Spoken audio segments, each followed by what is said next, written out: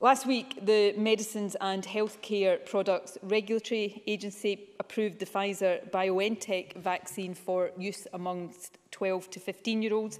Uh, that is also really good news, as it indicates that the vaccine, that particular vaccine, is safe for use in children of that age.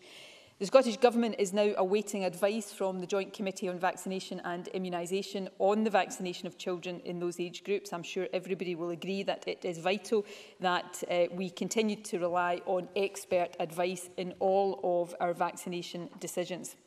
However, vaccination may very well be a really important way of giving children greater protection, minimising any further disruption to schooling and also further reducing community transmission of COVID.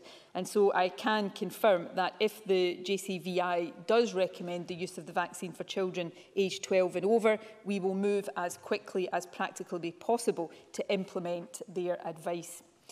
For the moment, however, we continue to focus on vaccinating all adults as quickly as possible. Uh, this remains absolutely crucial in the race we are in between the virus and the vaccines.